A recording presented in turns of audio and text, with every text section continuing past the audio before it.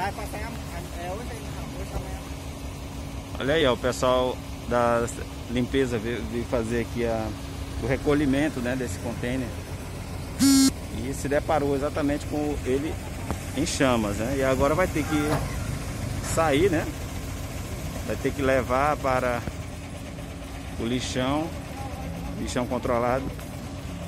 Vai ter que levar o, o, o container em chamas porque eles apagaram aqui, mas ainda está queimando lá dentro, né?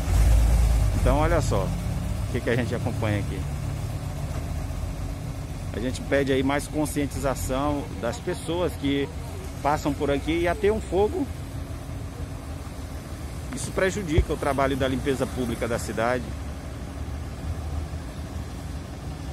Temos que colaborar todos para a limpeza pública do município. Então olha aí o que, que, que, que acontece. Né? Os profissionais têm agora que recolher. Você vê aí a, a imagem do, do container em chamas ainda, sendo levado agora para o lixão controlado da cidade. Né?